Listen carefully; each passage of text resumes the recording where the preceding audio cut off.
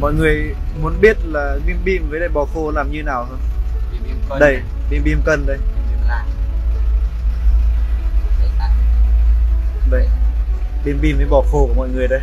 Bắt gặp cảnh bim bim và bò khô phơi la liệt dưới mặt đường, chàng trai đăng clip bóc phốt nhưng lại bị chỉ trích ngược. Mới đây, một nam tài xế đã đăng clip lên trang TikTok cá nhân chia sẻ cảnh hai món ăn vặt tuổi thơ của nhiều người bị phơi trực tiếp dưới mặt đường quốc lộ, ngay cạnh nơi xe cộ qua lại. Trong video, nam tài xế nói to, mọi người muốn biết bim bim và bò khô được làm ra như thế nào không? Người xem ai cũng sửng sốt khi thấy cảnh hàng tá thức ăn được bày la liệt dưới mặt đường đầy bụi. Hóa ra, ta ăn bấy lâu mà không hề hay biết ư. Bên cạnh những bình luận tỏ ra kinh hãi, có khá nhiều ý kiến lại quay ngược sang chỉ trích anh chàng đăng clip vì thiếu hiểu biết. Vụ này mấy năm trước có lên TV rồi mà đấy là nông dân người ta mua lại bim bim và khô bò bị mốc hết hàng để làm thức ăn cho gia súc gia cầm. Nói như thế vừa tội cho mấy bác nông dân, vừa tội cho nhà sản xuất. Một bài phân tích.